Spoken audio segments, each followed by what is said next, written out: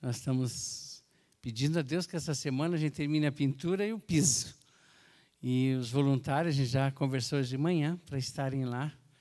E vai, vão acabar para o louvor da glória do Senhor. Então, a minha gratidão a todos vocês. Em segundo lugar, nós temos uma visitante conosco, minha ex-ovelha, quando era pastor da igreja Al-Canisa Angeli Al-Arabia Fifos de Iguaçu. igreja né, é, é, árabe brasileira de Foz de Iguaçu. A, a Miriam, que está com a gente, pediria que ela ficasse em pé, por favor. Tá? A Miriam, ela está vindo, já está morando em Curitiba, e nós estamos procurando, né, conversamos com ela para ela ter uma igreja acolhedora, uma igreja de amor, uma igreja que ampare, pode sentar, Miriam. E então vocês, quando terminar o culto, né, né, todo mundo dizer é aqui mesmo que Deus está chamando você. A Miriam tem uma marca muito grande na vida dela com a nossa família. A filha dela, a chamada Jennifer Safadi, sobrenome árabe, ela filha de muçulmano, e Jennifer foi um, um, algo que marcou muito a nossa vida, porque era a nossa amiga companheira da Talita, e elas faziam a, as coreografias na igreja juntas. Mas com 16 anos, Jennifer teve câncer no pulmão.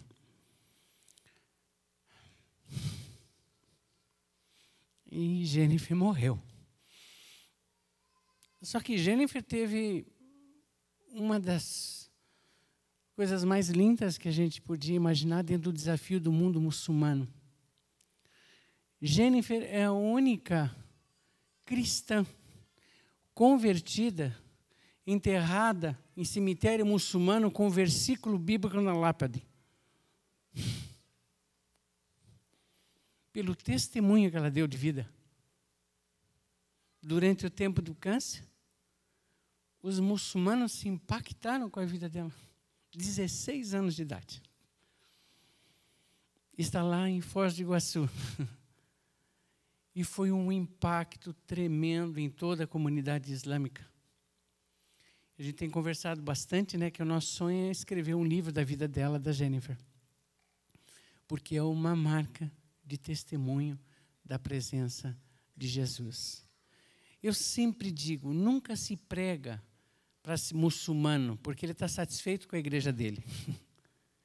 Vive-se a fé para que ele seja impactado e queira ser transformado pelo poder de Jesus. E esse foi o testemunho dela.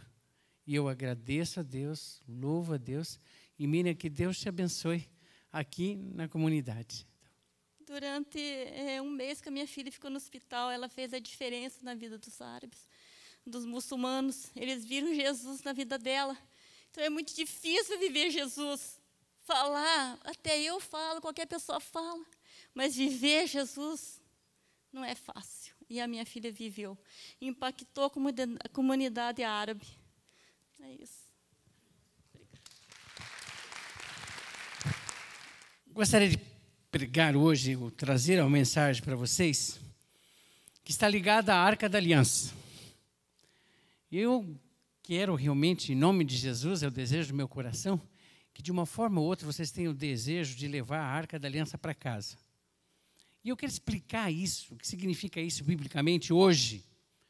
E falar sobre essa aliança, pode colocar o PowerPoint.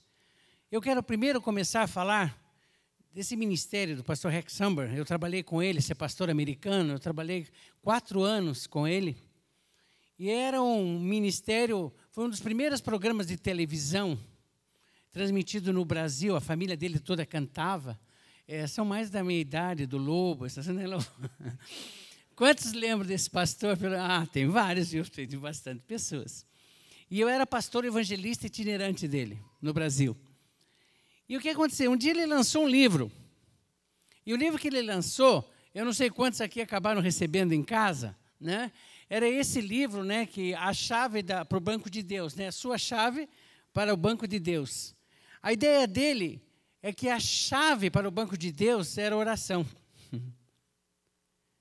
E a oração, quanto mais nós oramos, mais o céu se abre e nós tomamos posse das bênçãos que Deus preparou.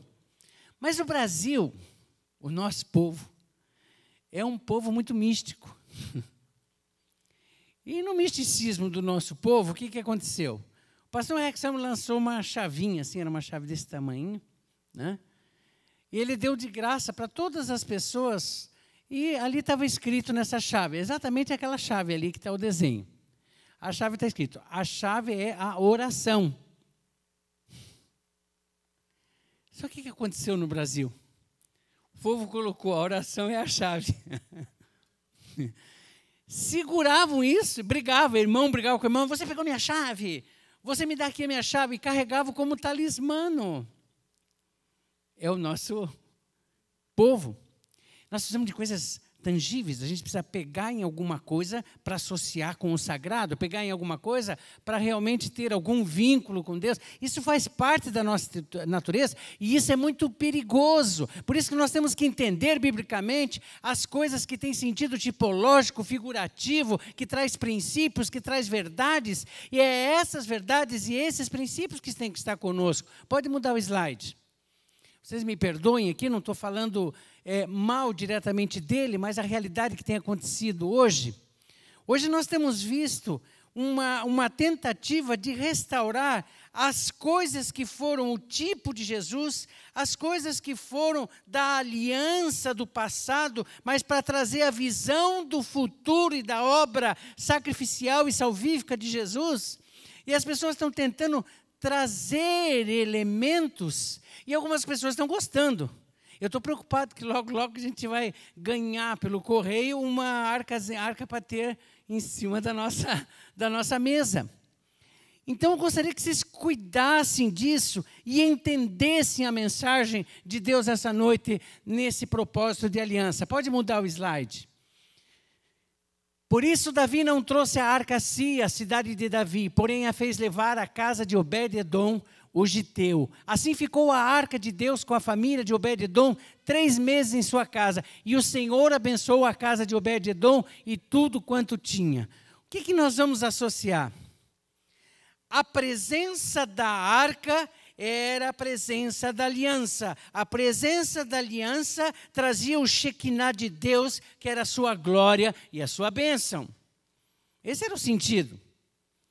E nós sabemos que essa casa foi abençoada, mas tem uma história que nós vamos ver hoje, que são três fatos que aconteceram com essa arca, que pode estar acontecendo na nossa vida e nós temos que avaliar simbolicamente associado ao Jesus que é o quê?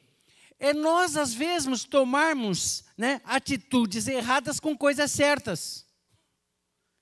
Nós somos bem intencionados, mas não somos abençoados, porque de alguma forma nós procedemos não de acordo com o direcionamento ou princípio que Deus diz que a gente é abençoado. Pode mudar. Como é que a gente tem que entender a arca?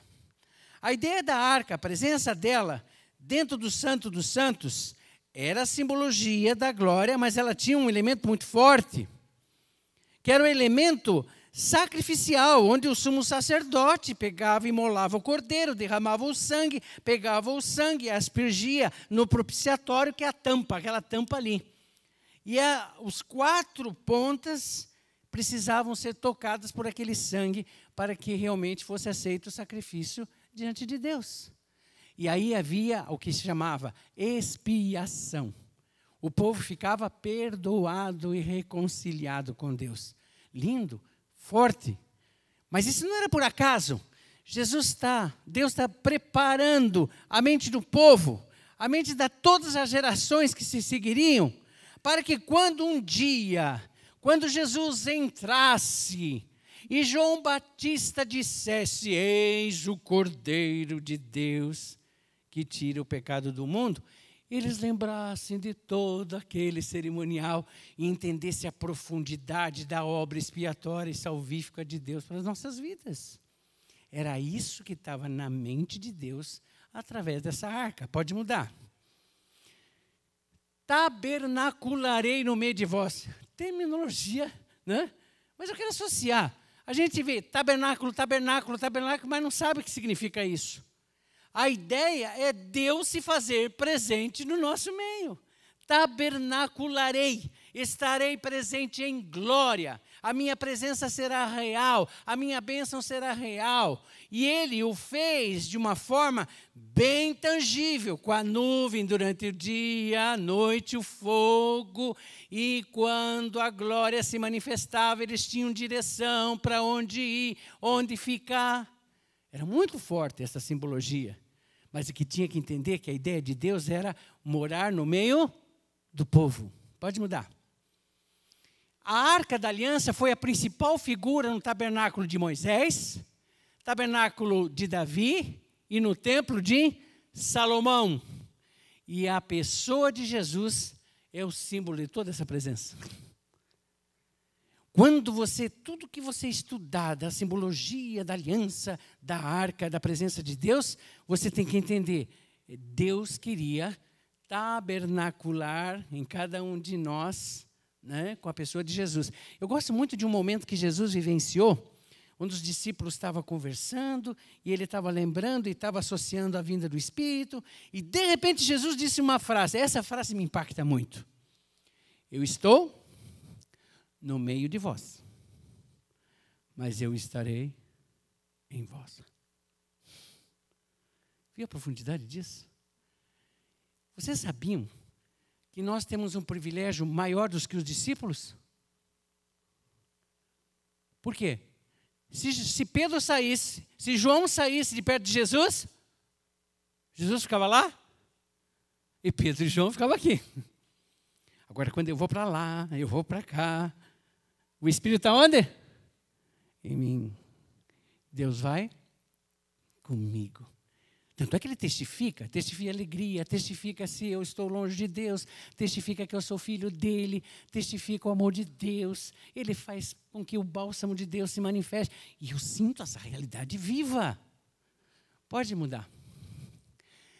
Onde a arca estivesse, ali estaria a presença do Senhor Jeová. Quando Jesus nasceu, um dos seus nomes foi Emmanuel, Deus conosco. Essa era a intenção de Deus. Hoje de manhã a gente teve ceia. Não era por acaso que Jesus disse: Esta é a aliança, a nova aliança. Qual é a aliança que eu estou descrevendo aqui do Velho Testamento? A velha aliança. E disse: estabelecerei uma nova aliança no meu sangue. O sangue continua? Continua. Só que lá era de cordeiro animal e no Novo Testamento? É o sangue dele derramado por nós. Pode mudar. Essa ideia, alguns é, crentes novos, às vezes a gente esquece, acha que é porque nós sabemos que a gente vê sempre, né? Mas tem pessoas que nunca viram a foto do tabernáculo. A ideia do tabernáculo era exatamente essa: toda a mesa de propiciação, a mesa ali dos pães, né? Ali tem o menorá que simbolizavam a, a, aquelas lâmpadas ali, eram sete. Amados, o menorá não podia apagar. 24 horas. E aí os sacerdotes tinham que, os levitas tinham que revezar. Por quê? Simbolizava a presença de Deus. Não podia apagar. Eu li um livro uma vez, do próprio Rex Amber. Foi-se e acabou. Foi-se a glória de Deus. Apagou-se. Eu falei o nome? Menorá. Obrigada. Acabou-se Menorá. A gente vê ali, onde tem aí aqueles anjos ali, era a entrada dos santos dos santos. O sumo sacerdote só entrava lá onde estava a arca. Dá para ter uma visão? E tanto que esse modelo depois foi o modelo do templo. Pode mudar aliança maior, no sangue do cordeiro, a tampa do propiciatório, é uma coisa tão linda e tão clara que vocês vão ler comigo agora Hebreus 10. Pode mudar o texto. Tendo, pois, irmãos, ousadia para entrar, vamos ler juntos? Tendo, pois, irmãos, ousadia para entrar no santuário pelo sangue de Jesus, pelo novo e vivo caminho que ele nos consagrou, pelo véu, isto é, pela sua carne, e tendo um grande sacerdote sobre a casa de Deus, cheguemos-nos com verdadeiro coração e inteira certeza de fé, tendo os corações purificados da má consciência, o corpo lavado com água limpa, e retenhamos firmes a confissão da nossa esperança, porque fiel é o que prometeu. Amados, eu não sei, mas eu vou falar. Tem um texto na Bíblia que diz assim, Salmo 25. A intimidade do Senhor são para aqueles que o temem. Vou repetir. A intimidade do Senhor são para aqueles que o temem. Eu não sou mais que vocês e nenhum é mais do que o outro, mas vou dizer uma coisa para você. Se você é purificado com este sangue, você entra onde o sumo sacerdote entrava tete a tete com Deus. Não porque somos alguma coisa, mas porque esse sangue nos justifica. Esse sangue nos justifica. Deixa eu abrir um parênteses. Lá. Fadley. Um casal de sírios que estão aí, eles vão cantar depois. Tá, pode ficar aqui. A Silvana está aqui. Tá bom? Abed e Yasmin. ah, desculpe.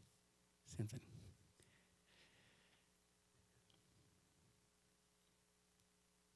Aqui. Amém. Em cima dessa verdade, nós temos a intimidade com o Cordeiro.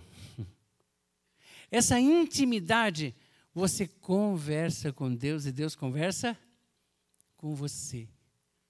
Não precisa ser pastor, mas agora, se o pastor não tiver o sangue do Cordeiro, também não adianta nada. Eu me lembro uma vez de uma cena: tinha um pastor, tinha um diácono, né? Estavam sentados diante de uma mulher. Porque a mulher disse assim: Olha, eu tenho uma revelação para a igreja. O pastor meio desconfiou nesse negócio de ter revelação para a igreja. É uma coisa que pode ser de Deus, como não pode ser. E a mulher na frente. Aí o pastor disse: Eu vou conversar com ela antes, para que ela não chegue lá na frente e aconteça alguma coisa nessa revelação. Estavam juntos. Aí, de repente, o pastor olhou para a mulher e disse: Pode falar. Aí a mulher ficou possessa com demônios. Cheia de demônios, a mulher que ia trazer uma palavra para a igreja. Aí ela olhou para o diácono, que podia ser o contrário também, não é que diácono menos que pastor, podia ser o contrário, e começou a contar todos os podres do diácono. Que o diabo é acusador. E começou, pá, pá, o que, é que você está querendo aqui? E o pastor contou depois que ele ficou pensando, gente do céu, ele também, né? Todos nós somos pecadores, né? Quando a mulher orou, olhou para o pastor, disse: Não sei o que está acontecendo, não consigo olhar dentro de você. E se eu estou lavado pelo sangue do Cordeiro, sai em nome de Jesus. E o demônio saiu. E é grande diferença. Esse sangue te dá autoridade.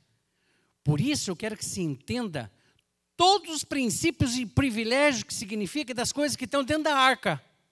Vocês lembram que tinham dentro da arca? Vamos para frente.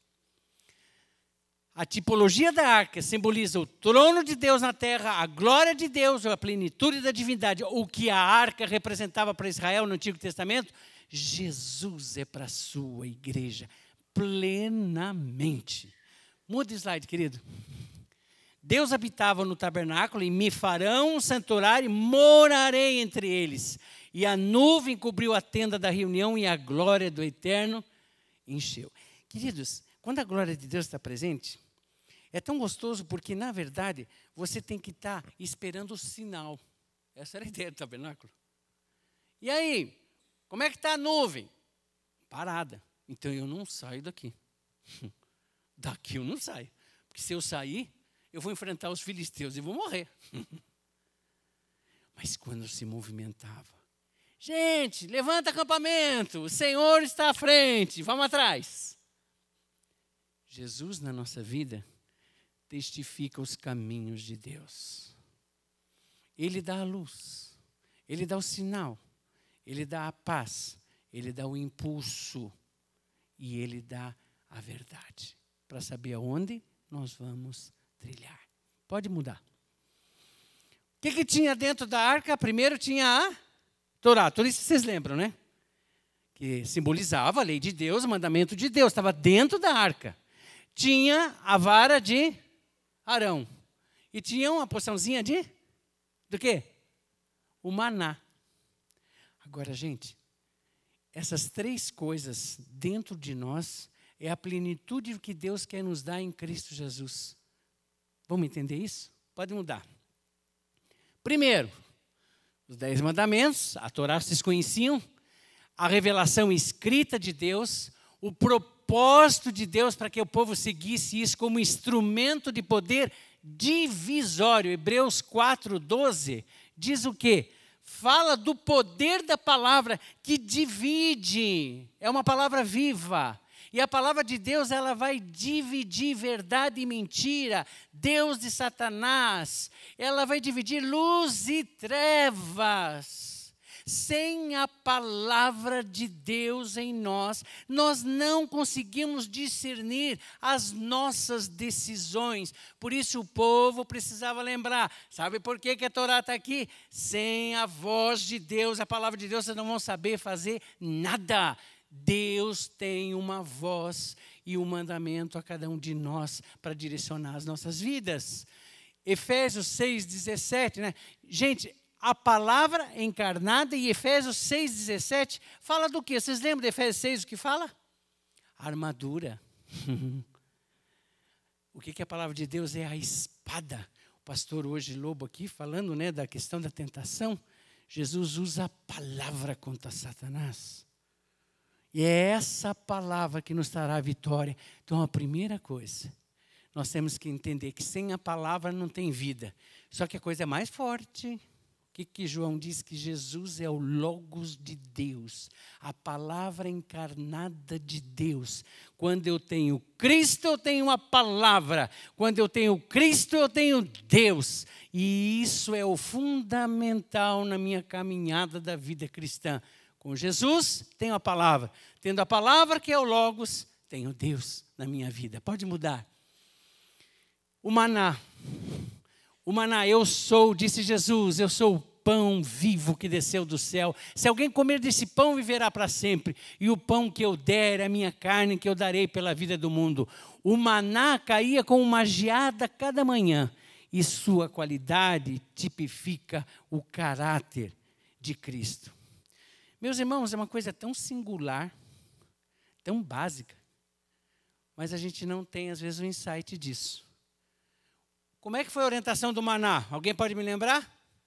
Qual era a orientação do maná? Poção para cada dia.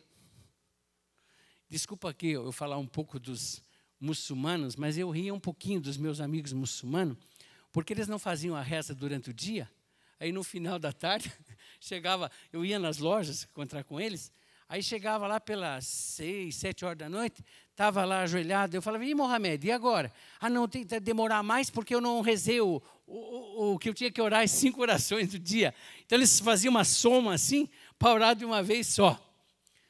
E nós? E nós? Gente,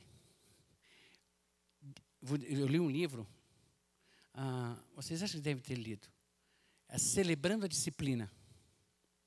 Gente, não é só para gente de exército, não.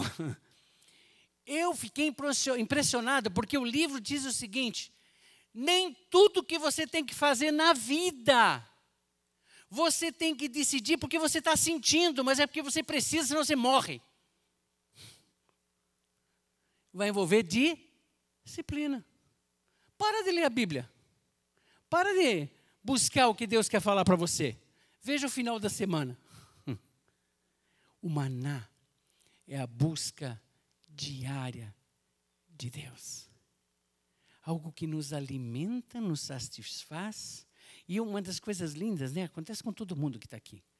Quando vocês têm aquele alimento, vocês já perceberam quantas vezes no dia Deus acaba usando aquele alimento que você teve da manhã, ou o versículo que você leu, ou o recado que Deus te trouxe. Diz, gente, eu li isso de manhã, essa é a palavra para a sua vida, e são usados no nome de Jesus. Pode mudar. A vara. Coisa linda essa vara. Essa vara tinha uma lembrança muito forte. Houve uma brigazinha lá entre a, a, uma linha dos levitas e a outra. Eles estavam dizendo, não, eu, né? Tá ali, eu coloquei ele, tentei mostrar ali para vocês. Eles, o Coate Tá? Deus escolheu a casa de Coate. Só que o pessoal da casa de Corá disse: Não, sou eu que sou sacerdote. Deus disse: Não. A autoridade está na linhagem de Coate. A autoridade dada por mim. A vara simboliza autoridade dada por Deus. Quando eu tenho Cristo na minha vida, a sua glória tão imanente que eu falo no nome dele, porque ele passou essa autoridade para mim, e eu vos darei autoridade. E a autoridade que a gente tem perdido dentro das nossas próprias casas, a autoridade espiritual no nome de Jesus. Nós temos essa autoridade. Amém? Pode mudar. O histórico da arca, o povo perdeu a glória da presença e direção de Deus, e cabode. E o momento era de restauração. A coisa certa, de forma certa. Vamos um pouquinho de história agora, da Bíblia. Os levitas estavam com a arca que já tinham tomado, os filisteus. E o que aconteceu com eles? Um monte de doença, hemorroide, eles começaram a ter um monte de praga mas um monte de coisa, porque são incompatíveis luz e trevas. E eles vão vamos entregar essa arca. Imagine a arca que simbolizava a glória de Deus, a presença de Deus, a bênção de Deus. Sim, entrega já isso para os judeus, entrega lá para Israel, rapidinho, rapidinho, porque não aguentamos isso. Se imagine, a presença de Deus que pode ser bênção, se tornando desgraça. Os vossos caminhos não são os meus caminhos. O caminho dos filisteus era caminho de treva. A arca não ia fazer diferença nenhuma. Olha isso eu sei, isso eu sei. Agora, pior, na casa dos crentes judeus aconteceu a mesma desgraça. A coisa certa, levar a arca para casa, mas de forma errada. Vamos ver esses momentos? Pode mudar. Na casa da Binadab, então vieram os homens de Kiriat Jarim, levaram a arca do Senhor, trouxeram a casa de Binadab, e sucedeu que, desde aquele dia, a arca ficou em Kiriat Jarim, e tantos dias se passaram, que até chegaram 20 anos, e eles lamentavam sobre toda a casa de Israel. Eles não foram abençoados, deixaram passar a oportunidade. Queridos, que coisa terrível. 20 anos? A casa, a arca dentro da minha casa. E eu conheço o Senhor. E Samuel é levantado e diz: Gente, vocês estão há 20 anos aí, com toda a bênção na tua frente, e estão vivendo na desgraça. E se arrependam logo, porque o povo estava em pecado, estava idolatrando, estava na murmuração, estava na prostituição e a arca dentro da casa. Não fazia diferença nenhuma. E essa arca simbolizava a glória de Deus. Tem pessoas que já confessaram Jesus, já declararam Jesus, já oraram Jesus, já receberam Jesus, mas estão vivendo um momento que, como esse Jesus tivesse do lado e você está colhendo sua desgraça. É hora de consultar se a sua casa, mesmo que você levou a arca para casa, mesmo que você levou Jesus, você está simplesmente se alimentando porque você está afastado de Jesus. Outra história dessa arca. Quero ver onde é que nós estamos. O pecado elimina a glória. Eli, o pai e os filhos Rofne e Finéias. Ah, eu sou filho do sacerdote Eli, nós somos filhos. Nós vamos guerrear agora contra os filisteus. Pega a arca aí. Pega a arca e vamos lá. Pegaram a arca. Os filisteus, gente, eles estão trazendo a arca. Nós já experimentamos essa arca. Quando essa arca vem, a gente perde a guerra. Quem que ganhou? Quem ganhou? Os filisteus. A Bíblia diz, gente, de uma maneira tão forte que os filhos de Eli eram execráveis, significa reprovados, abomináveis e detestáveis diante de Deus. Adiantou a arca? Não. Adianta Jesus. Se você não tem comunhão com esse Jesus, que você não consegue nem falar com ele. Amados, Jesus está na nossa casa como a arca da aliança para manifestar a glória de Deus. E se essa glória não está presente, não é por causa da arca. Não é porque a glória simplesmente foi embora, mas vocês lembram que a Bíblia diz que o Espírito deixa claro que o que, é que pode acontecer com o Espírito? Apagar o Espírito de Deus. E eu não distingo aqui essa questão de distinguir o Espírito. Para mim, não é que o Espírito vai embora, a obra de Deus é perfeita. Mas a ação do Espírito dentro da minha casa ação e manifestação de Deus na minha vida, da minha esposa, dos meus filhos, se isso foi embora, se Deus não está agindo, não significa que Cristo não está lá, mas alguma coisa está impedindo que a presença dele seja prioridade e seja manifesto plenamente na minha casa. Queridos, pode mudar. Davi, Davi acertou, não errou. Primeira coisa que Davi fez, o Davi, ele diz: Nós precisamos dessa arca, não pode ficar 20 anos lá, traz para cá, traz a arca. Então Davi resolve buscar a arca, fez uma festa, convidou a elite da igreja, os melhores músicos, os cantores, os empresários, né? 30 mil convidados. Gente, a glória de Deus vai voltar para Israel. Vamos fazer um festão. Adianta, cadê o pessoal, os levitas aqui?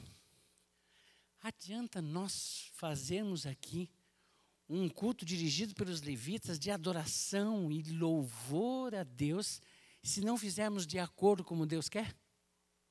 Algumas menções ele fez hoje antes do louvor. Algumas menções. Quem que é o meu público? A quem eu me dirijo? A quem eu adoro? Quem está envolvido dentro do meu coração na hora que eu estou adorando? Deus tinha dado uma orientação clara essa arca tem que ser conduzida com bastão que a gente fala, é, as varas. Essas varas não pode se tocar nessa arca. Mas que Deus ruim. É a orientação dele, não adianta eu querer adorar. A Bíblia diz assim: que Deus estava para a mulher samaritana à procura de quem?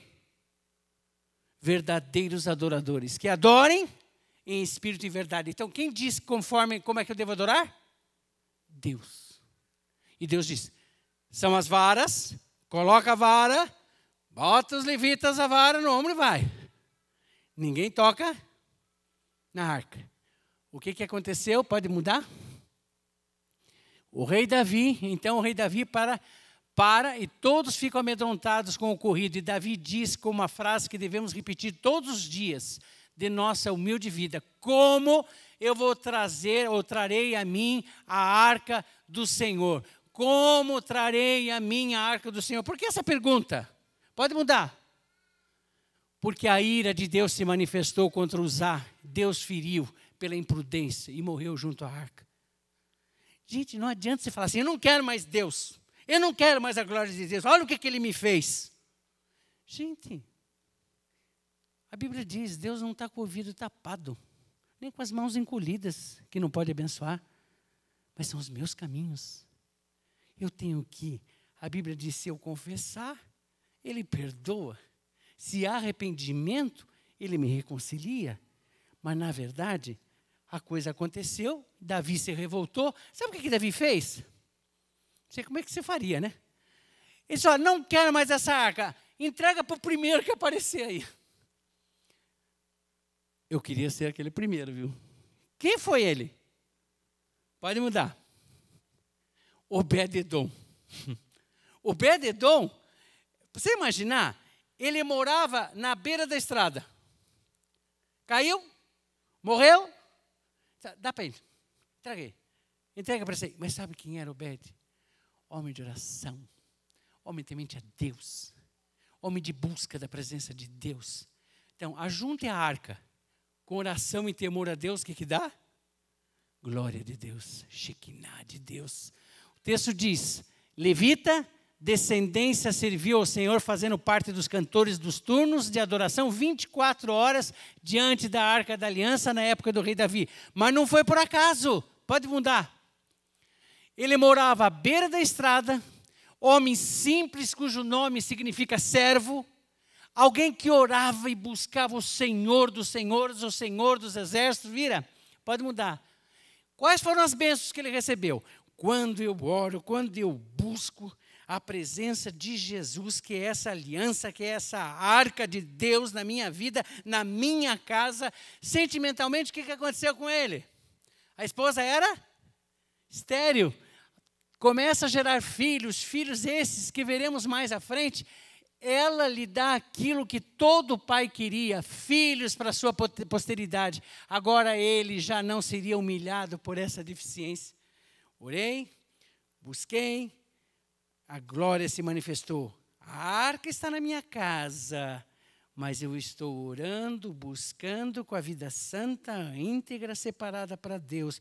Então, o efeito da ação dessa glória está na minha vida. Pode mudar?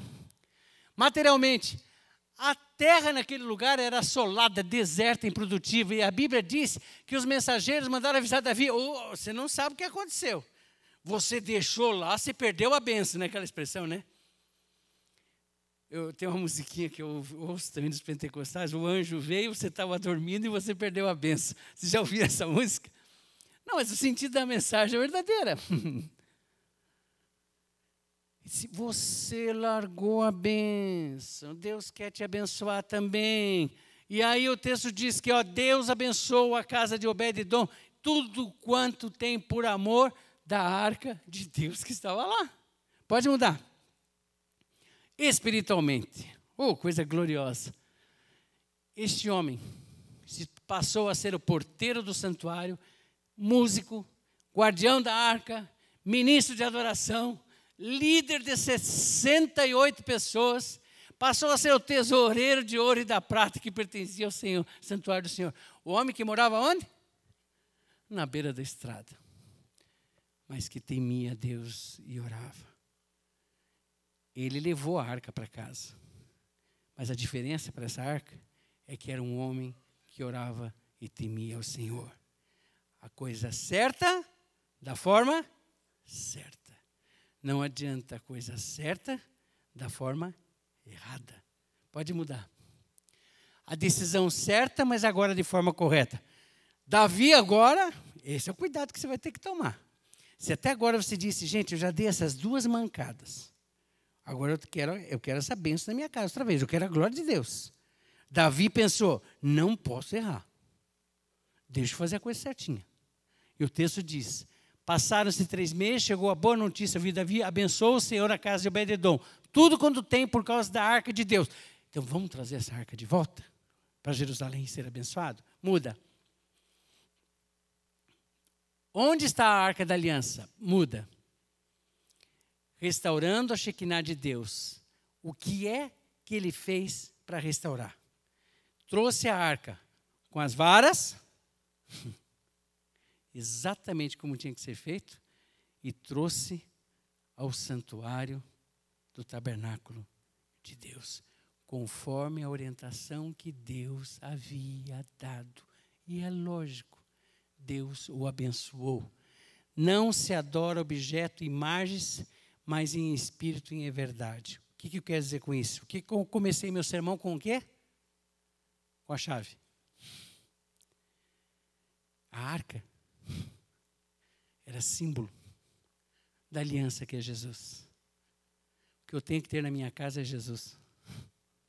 aliança do Deus vivo. É essa aliança.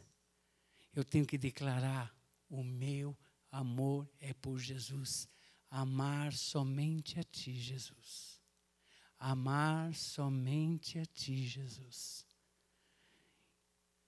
Cristo é a nova aliança e a plenitude de Deus. Antes de terminarmos, pode vir os dois aqui. Vocês vêm para mim. Ah, pode trazer o laúd, ok? Eu precisava de uma cadeira. O pessoal da música coloca é um microfone para o alaúde e outro para ela.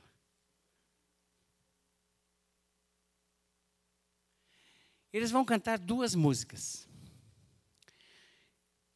A segunda delas é o Rebuká Rabi Yasua. Eu amo só a ti, Senhor. Que é a segunda música. A primeira, vocês vão ouvir algo que é a primeira vez que eu ouvi desmontou meu coração. Qual é a, Jesus, a língua que Jesus falava? Aramaico. É a língua dos cultos da missa da igreja ortodoxa deles, que é em aramaico. Eles vão cantar a oração do Pai Nosso. Imagine Jesus falando em aramaico. Tá? Em segundo, e o rebucar. Eu amo somente a ti. Só um minutinho. Pode mudar o slide antes deles cantarem. Restaurar a arca trazendo para minha casa é restaurar Cristo como aliança da Shekinah de Deus. Vamos repetir juntos? Restaurar a arca trazendo para minha casa é restaurar Cristo como aliança da Shekinah de Deus. Segundo, restaurado a aliança, usufruímos o símbolo do conteúdo da arca em Jesus. A palavra, o pão da vida, e a autoridade espiritual em poder e fruto. Amém?